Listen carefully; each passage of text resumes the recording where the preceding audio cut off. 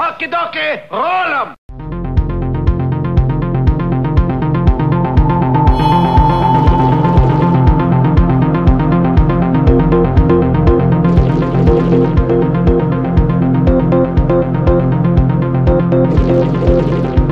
Thank you.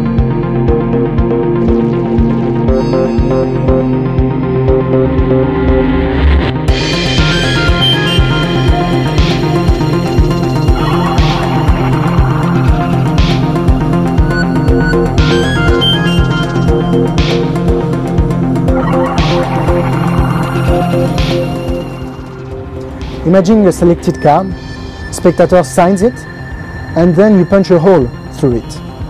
Visually, the spectators see the hole jump from one end to another of the card, and instantly everything is examinable. This is Flik.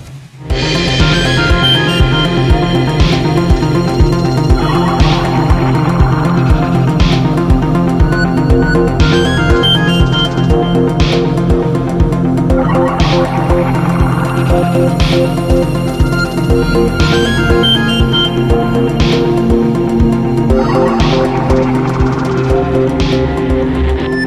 Alex de la Fuente, and this is Flik.